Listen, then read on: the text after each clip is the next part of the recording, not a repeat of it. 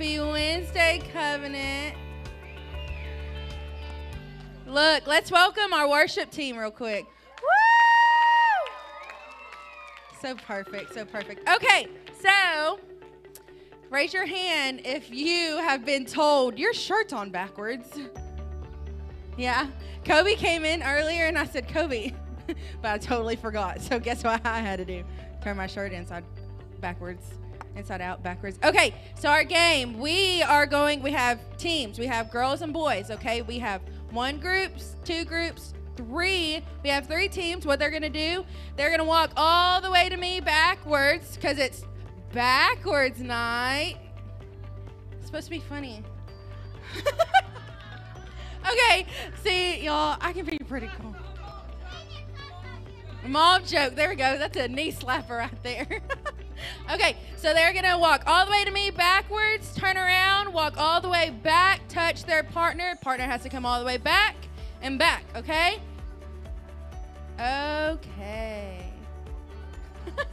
okay, here we go. Let's count them down. Three, two, one, go. Uh oh. Uh oh. Go, Kinley. Oh, she lost her shoe. Turn around. Go backwards. Oh, goodness. Oh, oh, watch me. Oh. Come on, come on, come on, come on. Go, go, go. Go backwards, go backwards. Oh, go, Ben. Oh, goodness. Oh, Ben. All the way to me, Brody. Okay, go back. Oh, no, no, no. Oh.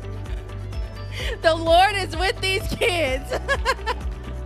Give them a round of applause. Go meet someone. I truly mean it. Go meet someone. Say hi. All right, we have one minute before we get this worship service started off with. Why don't you stand to your feet and meet somebody that you don't know? Come on, stand to your feet. Let's spread the love of Jesus tonight. Let's let's meet one another. Let's fellowship.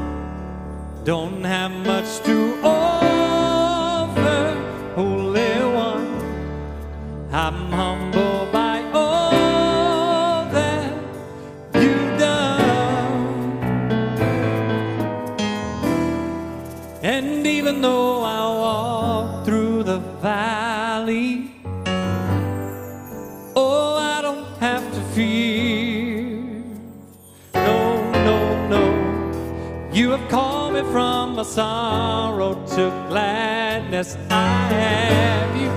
What more could I want? So raise my faith a little higher. You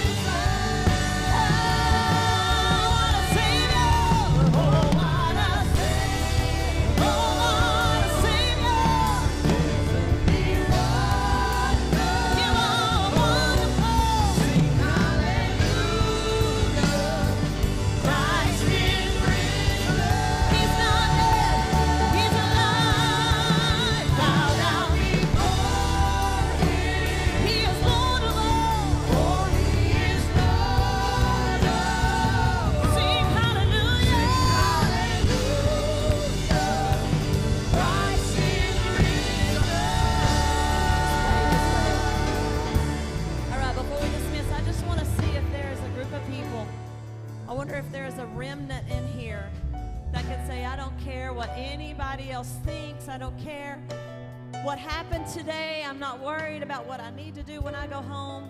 I want to take the next couple of minutes to declare what a Savior He is. I want you just to lift your voice. We're going to sing it one more time, and I want you to abandon.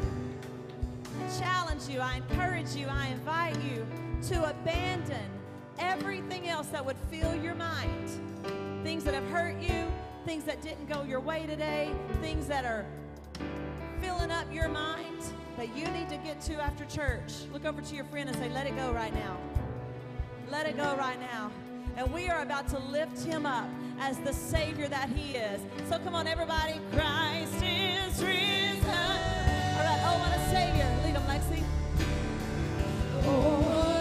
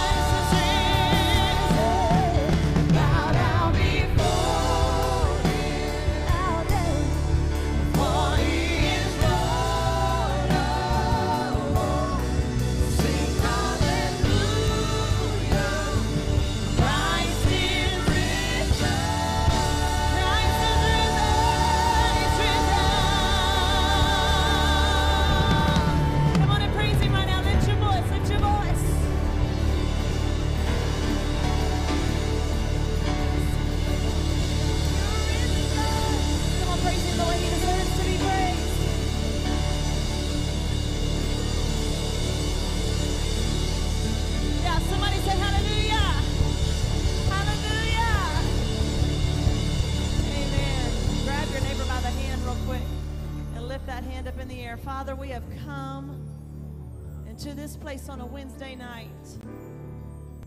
And you didn't decide to sit out tonight.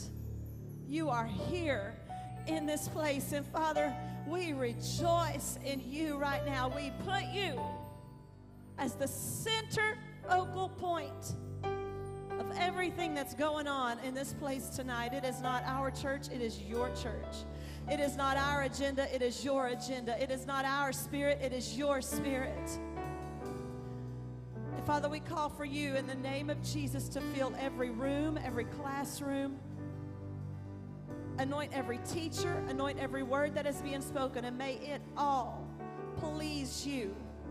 Father, I thank you that you have equipped us with every good thing for doing your work. And now I pray that you would open every heart, every teenage heart, every old person heart, every young person heart, every adolescent heart. Open every heart to receive your word in Jesus' mighty name. Amen. Come on, put your hands together one more time. You can be dismissed.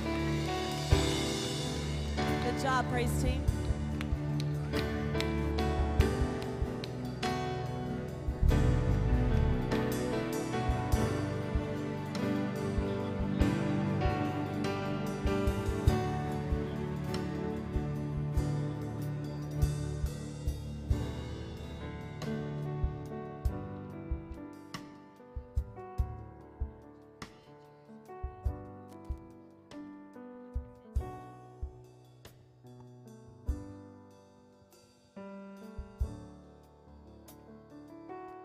I want to introduce somebody that I met just about 30 minutes ago. She's probably going to be like, Why are you doing this to me? I was looking out of Eagle Auto Sales out the front door. If you're familiar with Eagle Auto Sales, we have a small parking lot, and then there's Henderson Street, which runs right in front of the elementary. And I look out there and I see a like a 2007 maroon Taurus coming backwards like passing up Eagle and backing up in the middle of the highway and then turning in. And it's someone that I met about, like I said, 30 minutes ago or 45 minutes ago. And she began to talk to me, and I began to talk to her. And then we started talking about church. And I said, Do you want to follow me up to church tonight? And she said, I got to run a few errands, but yes, I'll be right back. So she left, and I'm thinking she'll never come back. She shows back up and she says, I had to run the red light to get here. Her name is Terry. Stand up, Terry. Come on, stand up. This is Terry. Terry, I want to tell you, first of all, thank you for blessing this house and coming today. I hope that you're blessed. And amen. There's a reason why she stopped in the middle of the highway and backed up. And I want you to be blessed today, okay? Thank you. Well, praise the Lord. you know what my heart's desire is? Is to have the fire of the Holy Ghost from start to finish all the time. Amen. How many loves to feel the presence of God? Amen. I like the fire. I like to feel the fire in every area. And the singing tonight had the fire in it. Amen. All right. So uh, the Bible studies is, is just wonderful, and we're proud of all of the people. I'm going to give you seven things that you need to do in your life. I got these down today, so I'm going to give them to you. Seven rules of life. All right, here they are. See if I can get this in the right position. Seven rules of life. Make peace with your past so it does not affect your present. That's good. All right, now let me get where I can read a little bit further, better. What others think of you is none of your business. Time heals almost everything. Give it time. Don't compare your life to others and don't judge them. You have no idea what their journey is all about. Amen. It's all right not to know all the answers. They will come to you when, when you least expect it. You are in charge of your happiness. Nobody else is. So smile. You don't own all the problems in the world. Amen. All right, seven rules. So keep those in your mind, and we're going to continue to get better. And I'm proud of Sister Bree. Glad that you've been faithful. Glad you've been faithful. Faithful is important to me, and uh, so I'm glad that you're here. Brian's going to teach us again on continually better. How many's been enjoying the Wednesday nights? Amen. All right.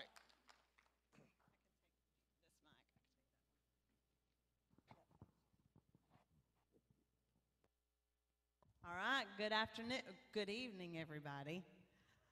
Good evening. Although this uh, week, when we leave church today, it'll still be daylight because a couple days ago was the longest day of the year. So those of you that go to bed at 8:30, you're still having to go to bed in the daylight right now. Daddy D going to bed in the daylight.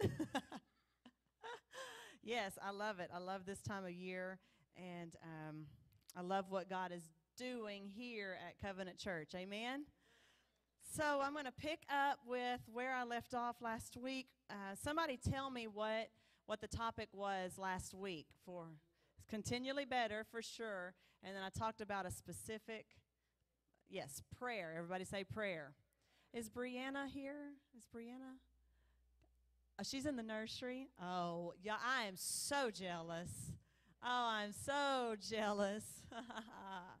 I am so jealous. I was gonna I was gonna have everybody look at her, and maybe hold her for a second. That's okay. I'll get to her. So the very first two words of the Lord's prayer, they are what? Somebody say them. Our Father. Everybody say our Father. So look over to your friend and tell them you're not an only child. Okay, so we're going to continue to talk about prayer, but since we are not an only child, we are not only the only one, we have a responsibility when we say our Father, that means there is somebody else that is in this family. And we can't have the attitude like Cain had that said, when he had murder in his heart, Am I my brother's keeper?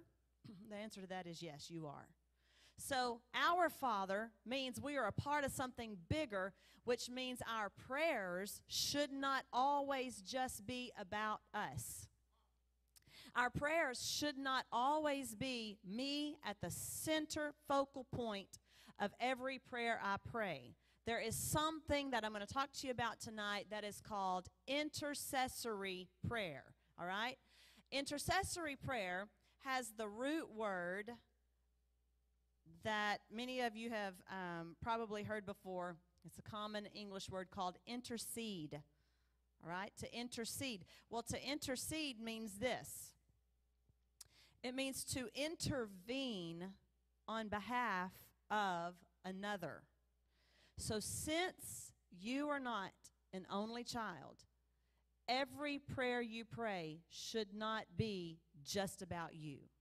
You have a responsibility to intervene on behalf of somebody else. All right?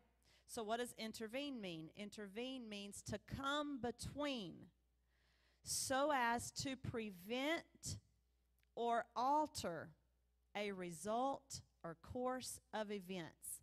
I have spiritual brothers and sisters that are facing things that I have the spiritual responsibility of intervening in their life. But I don't intervene like this. I don't get up in your business, show up at your house, tell you what you ought to do, tell you what you should do, and if I was you, I'd. Not that kind of intervene, that's called interference. All right? Intervention, when you're truly going to intervene effectively, the way to do it effectively is to go to the Father. To the Father, and then let Him intervene. Prime example I had two brothers. I was the oldest. My parents sometimes would put me in charge and they would leave. And I thought I had it all figured out. Dannon was 16 months younger than me, and Jan Michael was uh, uh, right at about four years younger than me. And I thought that I could tell them exactly what to do and how to do it, and guess what? They didn't want to hear it from me. They didn't want me telling them what to do, and guess what? Your spiritual brothers and sisters don't want to hear it from you either. So, what I had to do, hey, Dad, Dannon and Chucky stole some Skoal and they're right up the street and they're dipping it. And what did dad do? Because he knew intervention was necessary because at eight years old and six years old, or seven and five, or something like that, it was not a good idea for those boys to be dipping Skoal behind his back. All right, so I just want you to follow me here for just a second. In order to truly get somewhere with my brothers, I had to go to our father, and then our father handled it very wisely. All right? So maybe you ought to just step back a little bit, shut your mouth a little bit, Quit bossing everybody around around you, telling them what they should do and what they ought to do. How about you just step back and go to the Father and say, okay, God, on behalf of my brothers, on behalf of my sisters, on behalf of my friends, God, they need your intervention. All right? Makes sense? So we're going to talk about that tonight. So, who do you intercede for? This is a Bible study. You're going to learn a lot tonight. Who do you intercede for? Remember, to intercede means you're going to come between a person and their circumstances, a person and their results. All right? Who do we intercede on behalf of? We're going to find it in the Word of God. In the very beginning, in Genesis, Genesis chapter 18, you will find that Abraham interceded for Sodom and Gomorrah. Sodom and Gomorrah were cities. So listen, it is your responsibility. I'm preaching to myself to intercede on behalf of cities. It's our responsibility. Governments don't just automatically follow a sovereign God. And a sovereign God will sit back and let cities go to hell in a handbasket if there is no church to intercede. Prime example Sodom and Gomorrah. Nobody was interceding for Sodom and Gomorrah, but Abraham had a loved one there. And he said, God, and I'm just going to paraphrase. You can read it when you get home if you want a good Bible study. Genesis 18, 20 through 26. He said, God, would you destroy that city if there were 50 people there that were righteous? And God said, No. If there are 50 people there, I won't destroy the city. And then Abraham started thinking, and he's like, God, but what if there's only 45? If there were 45 people there, would you destroy that city? And God said, No, if I can find 45 righteous people, I won't. You see, there, Abraham is having a conversation with God. And then Abraham said, Well, what if there's 40? And God said, I won't do it for 40. And then he said, Well, God, hold on, God, don't get aggravated, but I still need to intervene. I still need to interfere because somebody there is righteous and you're about to do something really drastic. So what if there's just 30?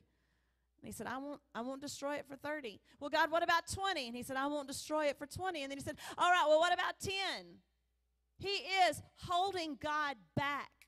That's what intercession is, is when you go to the throne of God on behalf of somebody else and you get, let me give a prime example. Can I have Mike and Cami, please? Well, Cami's so shy. I won't do Cami. Let's do Mike and Pastor Jan. Is Pastor Jan shy? All right. Both of y'all get on, uh, Mike, you come get on this side. All right. So this is Mike, or this is a, represents a city or whatever, a person, a family member, whatever you're praying, you're interceding for.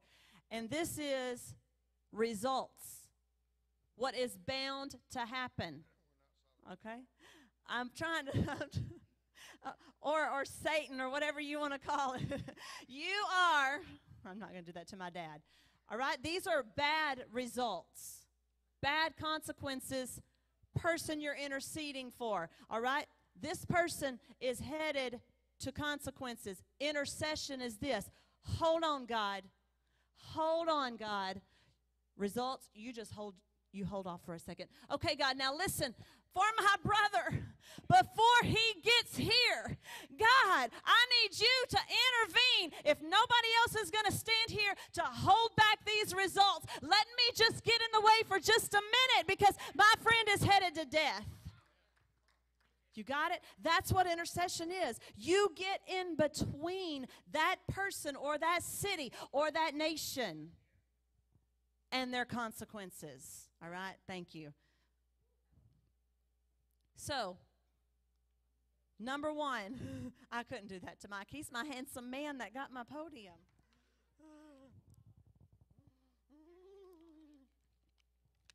Yeah. All right. So, Write down number one cities. We intercede for cities. Let me just give you some prime examples. Or Portland, Oregon needs some intercessors. New York City today needs some intercessors. I heard someone say this week that you go to New York City and it doesn't look like it's ever looked before. It's pretty much under siege because the cops won't fight the crime because they said right now, Todd's going to love this as an officer, crime is up and arrests are down. Because cops won't arrest, and here's why because crooked judges and crooked district attorneys are releasing crooked people you know what? That is not something that anybody can fix with their hands. So, New York City needs an intercessor to stand between New York City and complete meltdown, implosion. We need a church to intercede, all right? Now, let me just take it a little further. Rusk, Texas. needs somebody to, Jacksonville, Texas, Alto, Texas needs a church to intercede. I'm not going to stay on that. Number one, cities. Number two, nations. Let's just go a little further into the Word of God. In Deuteronomy 9, 7 through 8, you will see that Moses interceded for Israel. Israel was an entire nation. Look over to your friend and say, It is your responsibility. Just go and tell them, It is your responsibility to intercede for this nation. All right? Get this in your mind. United States of America, here where Mike is, detrimental consequences are right here. But when the church of the living God rises up, we can get God's attention. And let me just go ahead and tell you, He is sovereign and He's wanted to move all along, but the church has not been interceding. When times were good, the church kicked back in their spiritual La-Z-Boy, and there was nothing standing between United States of America and complete detriment. So behind the scenes, enemies working, churches sleeping, enemies working, churches sleeping. Today, we have to rise up as a church and we have to get between and we have to separate the results from our nation. Following me?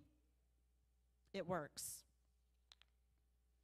If you want to read about Moses, he interceded on behalf of Israel in Deuteronomy 9 7 through 8, then 12 through 19, and 25 through 29. He said right here, He said, I prostrated myself before the Lord 40 days and 40 nights because the Lord said He would destroy you.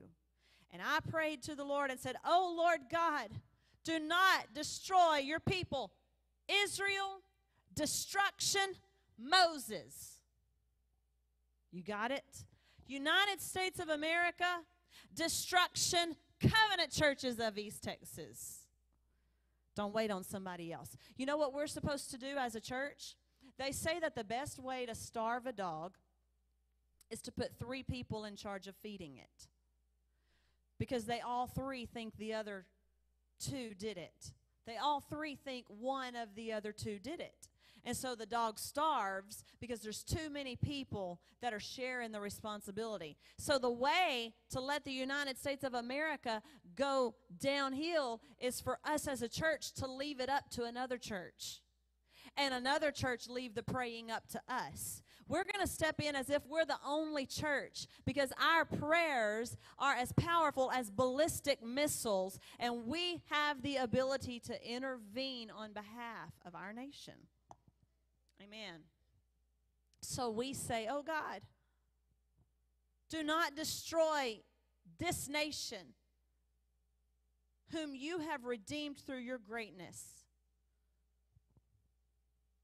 Carry on. So, number three. So, number one is cities, number two is nations, number three is, take you to some scripture here. Numbers 12, 10 through 13. I'm going to read it and then I'll tell you what number three is. And when the cloud departed from above the tabernacle, suddenly Miriam became leprous. I mean, she had leprosy, as white as snow. Then Aaron turned toward Miriam, and there she was, that quick, a leper.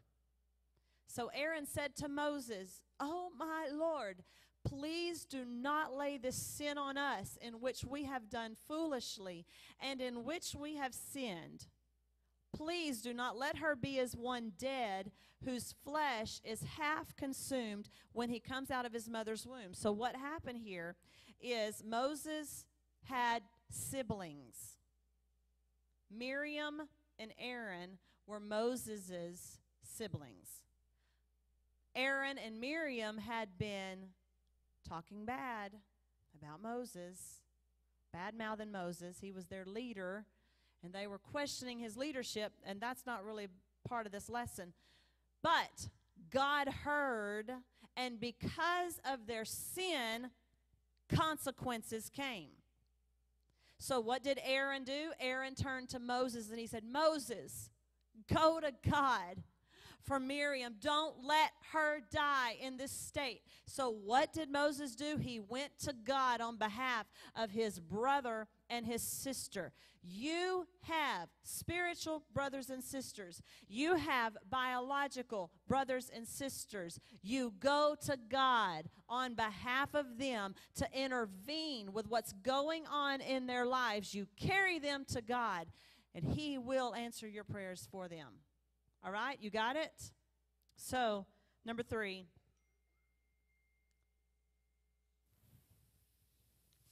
Physical brothers and sisters and spiritual brothers and sisters. Jeremy Dan just texted me and said that last week the Southern Baptist Convention voted to be less involved politically. That is not what we're going to do as a church. We are going to intervene. It matters what our kids are being taught in school. It matters if our dollars go to fund abortion in Iraq. It matters, and we may not can get to Washington, D.C., but hey, so what? I'll go to the Father. All right? Don't get less involved. You pray for the nation more than you ever have before. So, number three is your brothers and sisters. Number four, go to Mark 5 21 through 23. We are to intercede for those needing healing. Now, when Jesus had crossed over again by boat to the other side, a great multitude gathered to him, and he was by the sea. Keep going. Through 23. And behold, one of the rulers of the synagogue came, Jairus by name, and when he saw him, he fell at his feet, at Jesus' feet, and he begged him earnestly. Now, I want you to find the intervention here. My little daughter lies at the point of death. Here's his daughter, and here's death. And I want you to understand it was getting really, really close. She was getting really, really close to death. The father couldn't do anything about it, but he went to our Father, the Heavenly Father, and he said, I am intervening because my daughter is so close to death that she cannot get to you. So I am going to you for her. Come, Lord Jesus, lay your hands on her that she may be healed and she will live. Now, I want you just to go down to verse 35.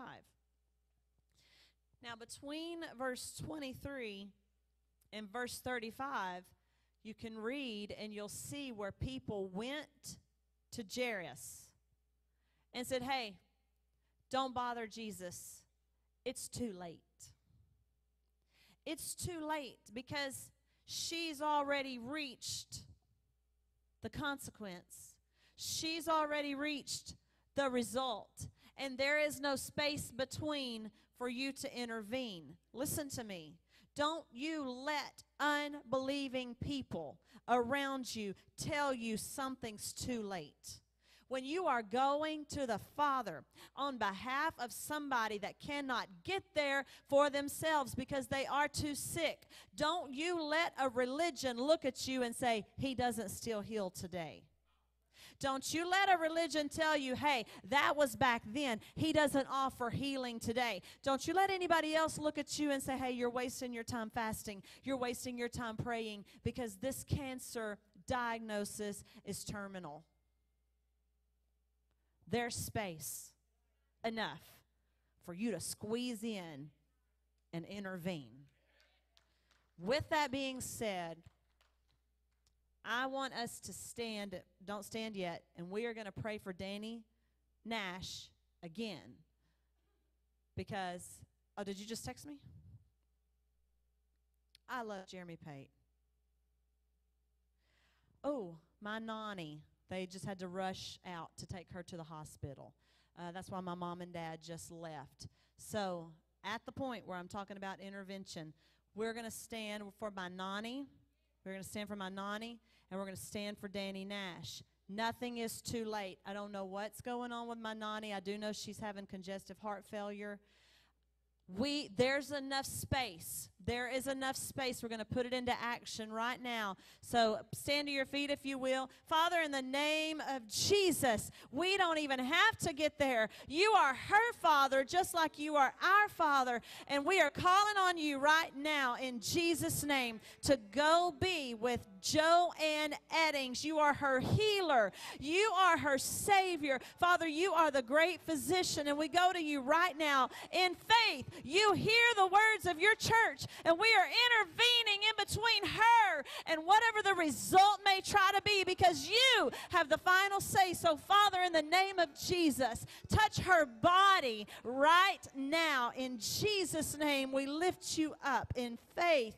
Everybody say amen. Don't say don't get seated yet. Second thing, Danny Nash. Danny Nash was told last night that they are really close to putting him on something called an eco something. Thank you, Todd, for his lungs. And the doctor said, let's just face it. People that go on this don't come off of this because they die. People that go on this die of stroke or I think heart attack and they don't come off of it.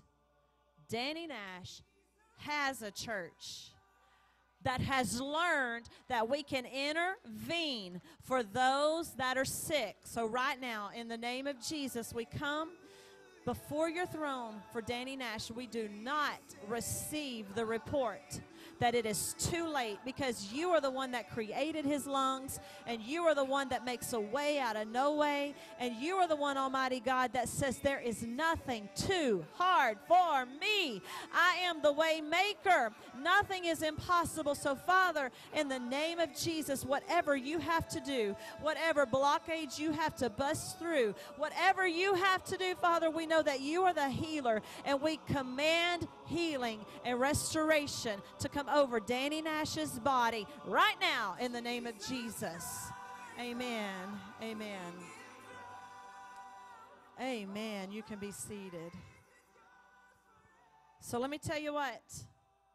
You don't let anybody tell you it's too late. What perfect timing. I know God gave me this sermon today. So they looked at Jairus and said, Oh, your daughter is already dead. It's too late. And Jesus spoke up and said, She's not dead.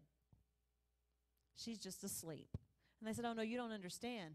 She's not breathing. And he said, I can just imagine him saying, No, you don't understand. So listen to me. Don't you let people that don't understand tell you opposite of what God, who does understand, has spoken to you. Amen? So I guess that was number five or four. Uh, intercede for those needing healing. You're welcome. Thank you for keeping me on track. So, for those needing healing, Jeremy, if you'll just keep me posted for my grandmother. Number five, correct? Because I didn't number them. We intercede for those needing deliverance. Let's go to Mark 7 24 through 30. From there, Jesus arose and went to the region of Tyre and Sidon, and he entered a house and wanted no one to know it, but he could not be hidden. 25. For a woman whose young daughter had an unclean spirit heard about him, and she came and fell at his feet. The woman was a Greek, a Syrophoenician by birth, and she kept asking him to cast the demon out of her daughter. Now, listen to me. This was not the demon oppressed daughter going to God for herself, it was a mother going to God for her daughter who was tormented, oppressed by a demon.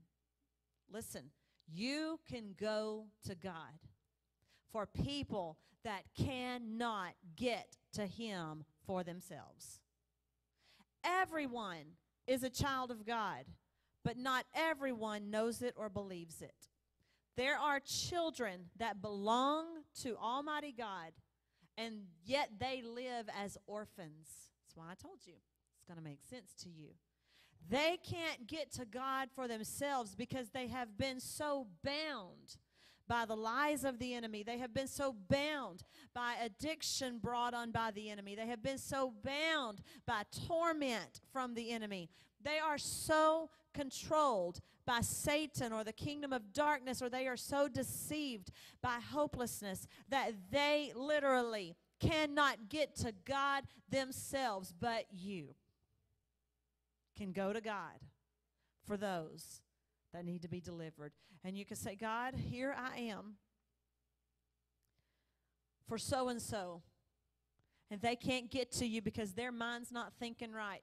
And let me just tell you how you can pray. You may want to put, you may want to mark the time that it is on Facebook right now and go back and get this or try to write it or something. But you can say, Father, in the name of Jesus, I come to you with the authority of your name, and I bind whatever demon or spirit is controlling or tormenting my brother or my sister, and I command that spirit to take their hands off of his or her will so that she can be free to surrender her life and her will to you, Jesus Christ.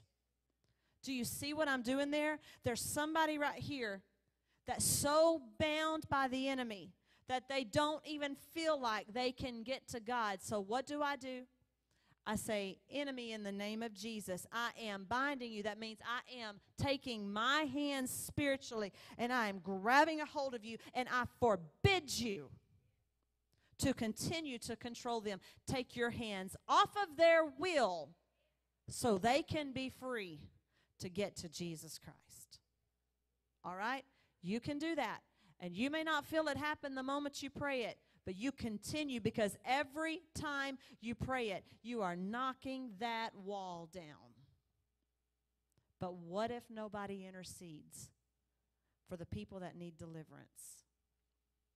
I have heard for the last time. Well, I haven't heard it for the last time. But I almost feel like I've heard it for the last time without saying something, but it's just not the time to say it. When somebody wants to tell me that the drunk driver whose car is wrapped around the tree, that the sovereign God said it was just time. Absolutely not. That alcohol stole that person's life. And I will tell you, the people in your life that are controlled by the enemy, if somebody doesn't intercede for them, deadly results are coming. We have a responsibility to intercede on behalf of those that need deliverance. Let me tell you what. Skip down to verse 30. And when that lady went home to her house, she found the demon gone out, and her daughter was lying on the bed free from that thing. You may not can even get the person that needs deliverance into this house. Go to the Father, he can get into their house. You got that? You may not can talk the person that needs deliverance into getting to Jesus. Just go to Jesus like the mother. I want you to think about that. The mother had to leave her daughter. Her daughter was tormented. Her daughter needed major hands on help all the time. She could not control her daughter enough to get her to Jesus, so she said, Baby girl, if you can't get to Jesus, by George, I can get to Jesus, and Jesus can get to you. And Jesus traveled so fast that by the time the woman got home, Jesus had already done the work. All right? Your prayer is a ballistic missile. It travels as far as you need it to travel. All right? Number six, right? Number six. We have to intercede for those who are deaf and blind. Now, I'm not talking about physically deaf and physically blind. I'm talking about spiritually deaf and spiritually blind. I'm going to use a couple of examples in the Word of God where physically deaf and physically blind people went to Jesus or were taken to Jesus by people that carried them, that interceded for them. But I do want to mention to you today, we don't have a lot of deaf and a lot of blind, although we do have some.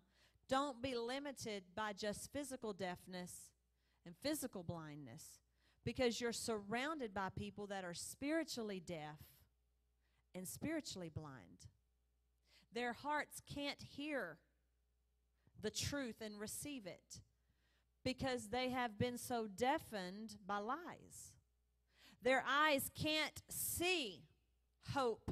Their spiritual eyes can't see hope because they have been blinded by circumstances. We have a responsibility to go to God, those of us that do have hope, those of us that can see the power of God in operation. We have a responsibility to carry the spiritually blind and the spiritually deaf to Jesus and say, Father, give them a hearing heart. Open their eyes to see the purpose that you have called them to. Now, I want to tell you, I'll just go ahead, go ahead and admit right now if you text me about your rebellious child that is in a predicament and you ask me to pray for them, let me just be honest with you. I'm not going to pray for them physically. They may have a physical issue, or if you text me for their finances, I'm just going to be real with you. I'm not going to pray for their finances. Because if they bust hell wide open rich, my prayer didn't do any good. If they bust hell wide open, fully healthy, my prayer didn't do any good. So if you want to bring somebody to me and they're not right with God, I'm promising you, and even if they are, my first prayer is Father, whatever you can do in this situation, open their eyes to see you for however you need to be revealed to them right now. Because if they don't come out of this, where are they going to spend eternity? So, a lot of times, go back and check your prayer list. Are you praying all the time for people's finances and people's toenails and people's eyes that hurt? And maybe you ought to just say, you know what? Let all of, God, whatever you can do with all of that work. But I want to pray for some spiritual deafness right now. Because if you heal their body and you don't save their soul, what good has it done for them? All right? Want you to look right here for the, the deaf and blind. Mark 7 31 through 35. Again, departing from the region of Tyre and Sidon, Jesus came through the midst of the region of Decapolis to the Sea of Galilee. Verse 32, and, and look right here. Read that first line with me. Then they brought to him one who was deaf. When you intercede for somebody, you take that person to Jesus. When you go to the throne for them, you take that person with you to Jesus. So notice here, they brought a deaf person to Jesus. Go to, and he healed him. Mark 8 22. Let's read here. Then he came to Bethsaida, and read this with me. They brought a blind man to him. You take whatever city, whatever nation, whatever child, whatever person you're praying for, when you go to God for them, you are taking them to Jesus because they might not have the faith or the belief to go on their own. Here's a question. No, I'm going to save it. So, number seven. I'm going to save it for this one. Mark 2 1 through 4. We intercede for those who are paralyzed. And again, I'm not talking about paralyzed physically, I'm talking about paralyzed spiritually. Want you to take note right here. And again, he entered Capernaum after some days, and it was heard that he was in the house. And immediately, next, please. Immediately, many gathered together so that there was no longer room to receive them, not even near the door. And he preached the word to them. Then they came to him. They. Look over to your friend and say, They is you. they are you. they came to him bringing a paralytic who was carried by four men. Now, listen, you might need to grab you a few prayer partners. And you might need to say, I can't give you all the details, but I got somebody that I need you to help me intercede for because they are paralyzed and they can't get to God themselves. And when they could not come near him because of the crowd, they uncovered the roof where he was so that they had broken through. And they let down the bed on which the paralytic was lying. Understand here that if those four people were lazy, they would have said, Okay, I know where Jesus is. We'll at least help you get to Jesus. And then they get to Jesus and there's no room, and they say, oh, This is just too hard on me. I mean, I, man, I don't have this much time. Uh, what are you expecting? I don't, I I got somewhere to be, or, or this is too hard of work. Let me just tell you intercession takes time, and it is hard work. But you got to understand that sometimes you have to do the work for somebody else because they are so paralyzed by fear. They are so paralyzed by unbelief. They have been awfully abused and they are so paralyzed by rejection that they can't do it themselves. And a lazy church keeps the paralyzed paralyzed. Sometimes Jesus may wake you up at 3 o'clock in the morning, and He may put somebody on your heart. Don't roll over and say, I'm just too tired. It's just too hard. Put forth the effort. You dig through that roof. You carry that person. You're going to sweat. Imagine carrying a 180 pound man, that's about an average weight, not necessarily in the great US of A where we have hot Cheetos and Mountain Dew, but we'll just kind of be on the nice side, about 180 pounds. Imagine 180 pounds on a stretcher. Four men got to get on a roof. They got to go up and then they got to lower. You may sweat a little bit. You may push the plate back a little bit. But if you don't put forth the energy or you don't want to take the time or it's just too hard, who else is going to do it? And if those four men did not love that man enough, how could he ever have gotten to Jesus? And don't tell me Jesus didn't know about that man because Jesus created that man. But he also left humanity in the hands of his church. And he expects us to do our part to get them to him. Otherwise, everybody's robots. And I've said it before nobody will get to heaven and say, God made me come here. Nobody will be there begrudgingly saying, I wish I wasn't here. All right? So that means that our sovereign God wants to intervene, but he puts the intervention in the hands of his church. Now, some things that paralyze people fear. Fear paralyzes people.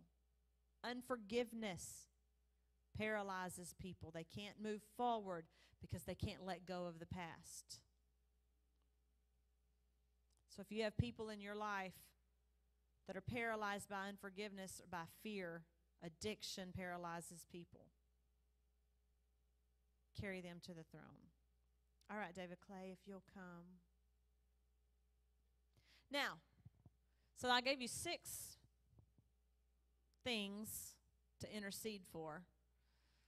Now I'm going to tell you that seven. I gave you seven. Thank you, Kaylee. I need y'all to keep me straight. I don't know why I didn't number these things. I gave you seven. Now I'm going to tell you one important ingredient that you have to have.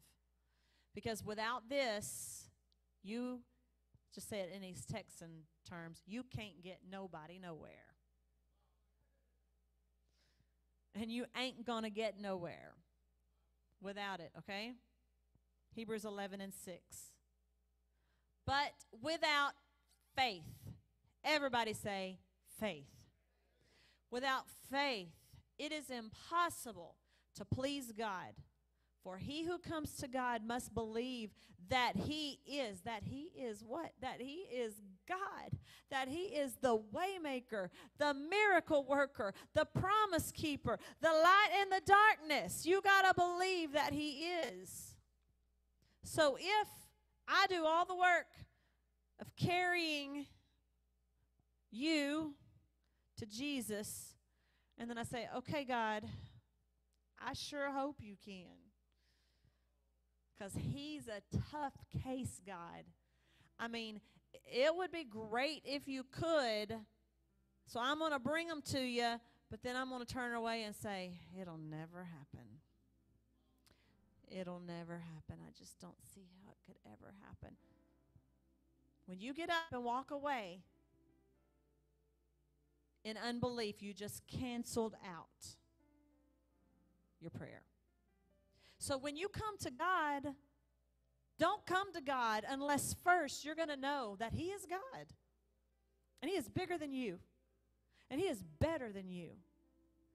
And He is bigger and badder than the worst devil you've ever faced. He is bigger and badder than the worst obstacle or storm you've ever walked through. Get in that posture first before you go to God. For anybody, you say, you know what? I'm not even going to come to you if I don't believe in you, but I'm coming to you because I know you are God and you are able. So you got to come, you got to believe that He is. And you got to believe that He's a rewarder of those who diligently seek Him. So you got to have faith to know you're going to hear my prayer and I'm going to be diligent. I'm not going to walk away when I didn't see it after one time, Cami. You keep knocking on God's door for your granddaughters. You keep knocking on God's door for your grandsons. God, here I am again. Why am I here? Because I still believe in you. Here I am because I know you're still able. And you're going to reward me because I'm being diligent to bring my babies to you. And let me show you, all wrapped up, what effective prayer does. James 5 13 through 16.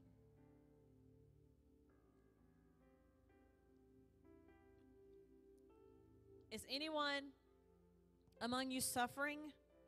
Because you're not an only child. So, is there anybody around you that's suffering? That could be tormented, that could be needing deliverance, that could be sick, that could be everything I just mentioned in the seven. Then pray. Is anyone among you cheerful? Then sing and rejoice with them. Keep going. Is anybody among you sick? Then call for the elders of the church and let them pray over him, anointing him with oil in the name of the Lord. And the prayer of faith, the intercession by the church, will interfere in the results. And they will save the sick. And the Lord will raise him up.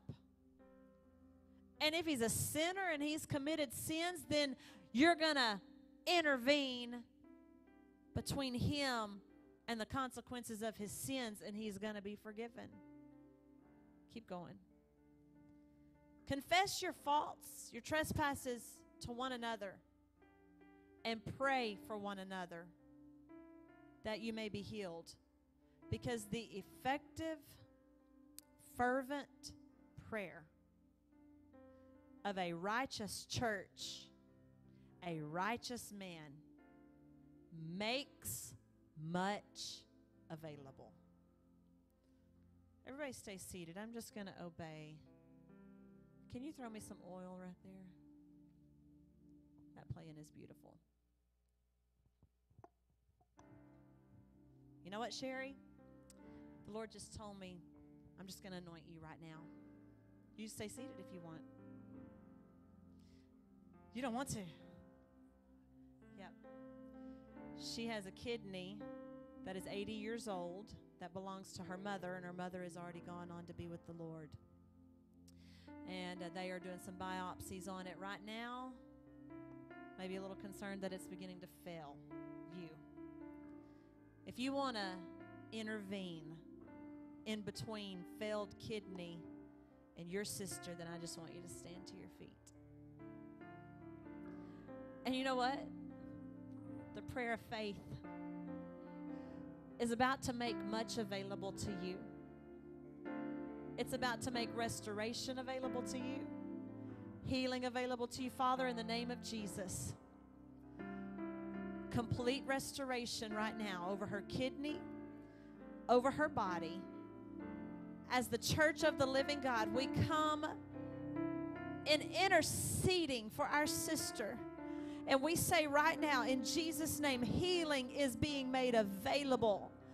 This prayer is effective. So I say over Sherry, Sherry, right now, in the name of Jesus, I command your body to receive the restoration, healing touch of your Almighty God, your Heavenly Father, right now. And I declare that everything is going to be okay. And you will live and not die, and you will declare the works of the Lord.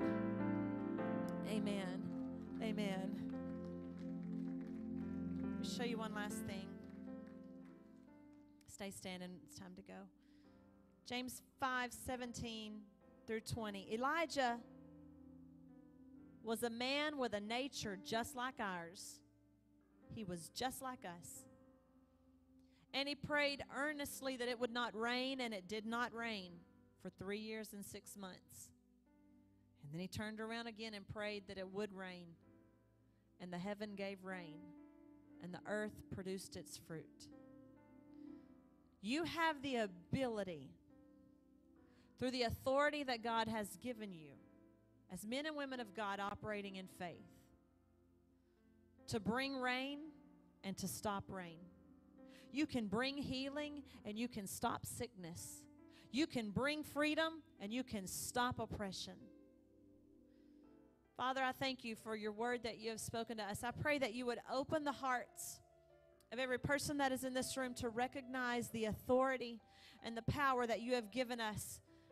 And Father, I ask in Jesus' name that you would equip, that you would grip our hearts with a burden for our brothers and our sisters that are blind and that are deaf and that need deliverance and that are sick and that are oppressed. Grip our hearts with compassion for our cities and our nations.